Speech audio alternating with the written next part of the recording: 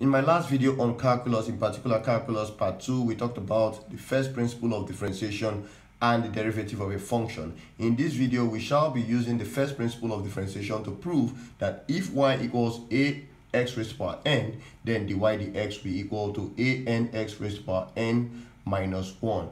Please check the link in the description below to take you to the video on Calculus Part 2 and Calculus Part 1.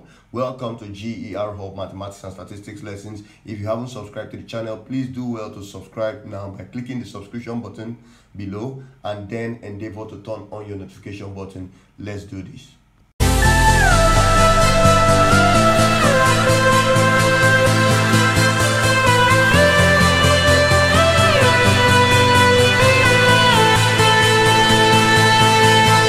Welcome back. So let's go straight into proving that if y equals ax raised to power n, then dy dx will be equal to anx raised to power n minus 1.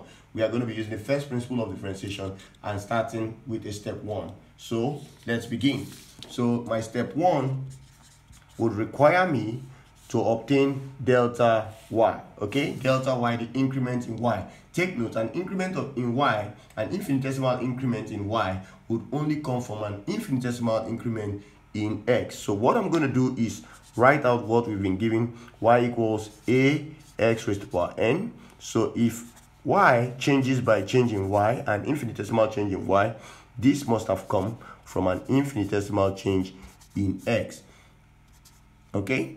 So this is what you're going to get. Now if you make change in y the subject of formula, then this will give you ax plus change in x in bracket all raised to power n minus y. But what have we been given y to be? We've been given y to be ax raised to power n. So in place of this y here, all you have to do is to put in ax raised to power n. So I'm going to put in that into the last line, and that will give me this. Okay, so the first step was to increase y by changing y, taking note of the fact that that must have come from change in x, okay? An increment in x. And then making change in y, the infinitesimal change in the independent dependent variable, the subject of formula, and that will give us this next line. From this line comes the last line here, that change in y equals a in bracket x plus change in x raised to power n minus what y is, in this case, a x raised to power n. Now, what I'm going to be doing next still in step one is to expand this okay? Now i'm going to be expanding this. Please please and please if you do not understand binomial expansion or binomial theorem please check the link in my video this particular video to take you to my video my earlier video on the binomial expansion to understand what i'm going to be doing here. I'm going to be expanding this and thereafter putting it into my step one to get delta x further simplified. So watch out for what I'm going to be doing so that you can understand what is being done. Now let us expand x plus change in x raised to power n so that thereafter we can infuse our result into step 1, okay? So what I'm going to do is to use binomial expansion, to the binomial expansion theorem to get this particular um, expansion done, okay? So I'm going to put this, this will start with n combination 0, the first combinatorial coefficient will be n combination 0 and that will be times x carrying the highest power n times change in x all raised to power 0 okay? Plus the second combinatorial coefficient will be n combination 1 x raised to power n minus 1 so n drops by 1 and that would mean change in x increases by 1 plus the next one which is n combination 2 x raised to power n minus 2 n drops by 1 again and that will be changing x raised to power 2 plus this continues plus the second to the last term if you keep up with the expansion and that will give us x raised to power 1 at this point in time we change in x all raised to power n my n, n minus 1 plus finally n combination n x raised to power 0 and changing x all raised to power n okay so let's simplify this um, result, what we've gotten in the first line. Let's simplify that. So we are going to have n combination 0 gives you 1. So 1 times x raised to power n is x raised to power n. Then changing x raised to power 0 gives you 1. So 1 times x raised to power n times 1 will give you x raised to power n. okay, for the first term. Now I'm going to the next term, n combination 1, anything combination itself, or anything combination 1 rather, gives you that thing. So n combination 1 will give us n. I'm going to write n. Then x raised to power n minus 1 comes down here. Then you have change in x, all raised to power 1 giving you change in x. So that concludes the second term. I'm going to go to the third term. For the third term, n combination 2 will give you n in bracket n minus 1 all over 2. So for, for details on binomial expansion, if you are not familiar with binomial expansion, the link is in the description below to take you to my video on binomial expansion, okay? So you would you will get to understand what is being done here.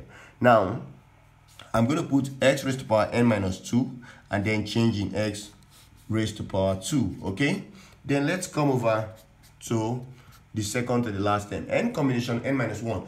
When you combine a thing with one shot of itself, it will give you n. So n combination n minus 1 is n, x raised to power 1 will return x, and then change in x all raised to power n minus 1 plus n combination n. Thing com combines with itself on that combination to give you 1. So n combination n is 1 and 1 will multiply x raised to power 0. Take note by indices x raised to the power 0 will give you 1. So 1 times 1 will give you 1 and that 1 will multiply change in x raised to power n to give you change in x raised to power n. So this is what you are going to get when you do the expansion. Okay. Now take note in in our step 1 we had change in y to be equal to a in brackets.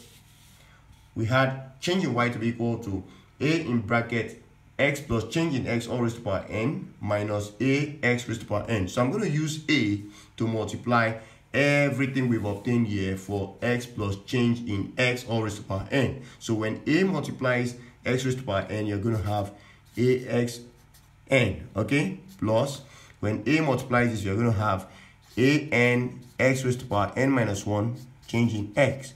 When a multiplies this, you're going to have a in bracket a n in bracket n minus 1 x raised to power n minus 2 change in x all squared and this will be all over 2 when a multiplies the second to the last term you're going to have a x change in x raised to power n minus 1 plus when a multiplies you're going to have a change in x raised to power n then finally recall that we had the last term to be a x raised to power n now look at it carefully. You will notice that ax raised to power n can actually wipe this out. So ax raised to power n minus ax raised to power n would give you 0 and that goes. So that brings me to the next thing. At this point, we will now write out our final result to conclude our step 1. So let's write out our final result. Step 1 is concluded with this, writing out the final results of the expansion, this. Okay? So when you write it out, let's see what we get. a n n minus 1 all over 2 x raised to the power n minus 2 change in x all squared plus dot dot dot plus ax change in x all raised to the power n minus 1 plus a in bracket change in x raised to the power n. So this concludes step 1. What have we done in step 1? We have been able to obtain change in y that is the increment, the infinitesimal increment in the dependent variable y. So that brings me to step two. So let's move to step two. So what are we to do in step two?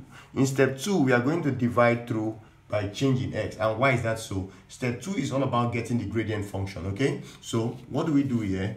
I'm going to say changing y divided by changing x would mean dividing each term in the result we obtained earlier on by changing x. Now, when changing x divides the first term, you are going to have a n x raised to the power n minus 1 because changing x will cancel this changing x plus when changing x divides the second term it is going to cancel one out of the two changing x you have here and that will give you a n in bracket n minus 1 x raised to power n minus 2 times change in x all over 2 here plus okay dot dot dot to the second to the last term and when changing x cancels this you're going to have um, n minus 2 because it will cancel out 1 out of the change in x there and that will give us ax change in x all raised to power n minus 2 plus finally it will cancel 1 out of this change in x raised to power n leaving us with change in x raised to power n minus 1 okay So you're going to end up having a change in x raised to power n minus 1. Okay, so this is the gradient function that has been obtained and it concludes step 2. So what have we obtained? We have obtained the gradient function to be equal to a n x raised to power n minus 1 plus a n in bracket n minus 1 all over 2 x n raised um, x raised to power n minus 2 times change in x plus ellipsis plus ax in bracket change in x raised to power n minus 2 plus a in bracket change in x raised to power n minus 1 and that concludes step 2 so let's go to the final step which concludes what we are doing. And that is step 3 so what are we going to be doing in step 3 in step 3 we are going to be obtaining the derivative so what will the derivative be remember in our video on differentiation that is the derivative of a function and the first principle of differentiation we had said that the derivative of a function simply means taking the limit as change in x, the independent variable tends to zero of the gradient function. So dy dx will be equal to taking the limit of what we have obtained for the gradient function, change in y all over change in x. Now I'm going to bring that quickly back into the spotlight so that you see what we have obtained. So this is what we had obtained. We had obtained this plus this plus ellipsis this plus this. Now, what it means is this, as change in x tends to zero, if we take the limiting value of this gradient function, changing in y over changing x, then that would mean taking the limit of each term in this expression. Now, taking the limit of each term in this expression means that wherever we find change in x, that particular term will be multiplied by 0. So in place of changing x here, I'm going to be putting 0. In place of changing x here, I'm going to be putting 0. In place of changing x here, I'm going to be putting 0. The only term that will remain is this term that has no change in x. So what does that mean? It means the limiting value as change in x tends to 0 would give us the only term that has no change in x and that is this term okay? So the only term that will be left when we take the limiting value of the gradient function change y over change in x as change in x tends to 0 will be this term here that has no change in x. And that will mean having a n x raised to power n minus 1 so if y is equal to a um, x raised to the power n minus a raised to power n sorry then indeed dy dx dy dx must surely be equal to a multiplied by n x raised to power n minus 1 and that concludes the proof. Thank you for watching this video. Do like share and subscribe to the channel. Make your good comments on our videos. We welcome them and i'll be seeing you in my next video. Thank you